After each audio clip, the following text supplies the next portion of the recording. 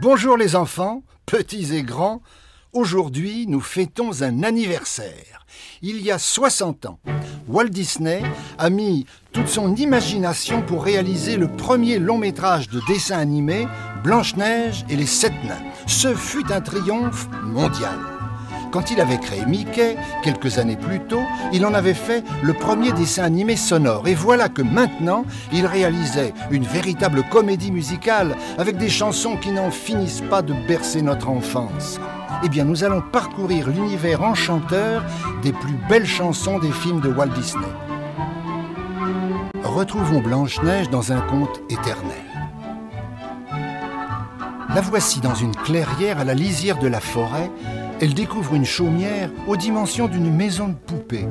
Elle s'y introduit, remarque les toiles d'araignée et décide de faire un grand ménage avec ses amis les animaux. Aussitôt dit, Blanche-Neige et ses compagnons déclenchent un tourbillon de balais et de brosses dans toute la maison. Elle n'imagine pas une seconde qu'elle se trouve en fait dans le logis des sept nains. Plus haut, dans la forêt, dans une mine scintillante de diamants, les sept nains travaillent eux aussi dans la bonne humeur.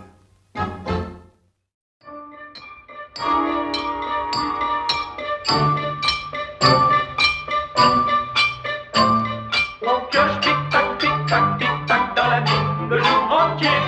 Piocher tic-tac, tic-tac, tic-tac, notre jeu préféré. Pas bien malin des riches enfin. Si l'on pioche tic-tac dans la terre ou dans la roche, dans la mine, Dans la mine, dans la mine, dans la mine, où un monde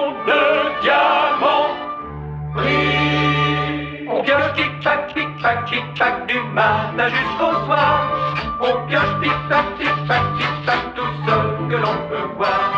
On pioche les diamants par monceaux, des sacs de rubis par quinton pour nous en valeur dans ces trésors. On pioche tic tac, tic tac.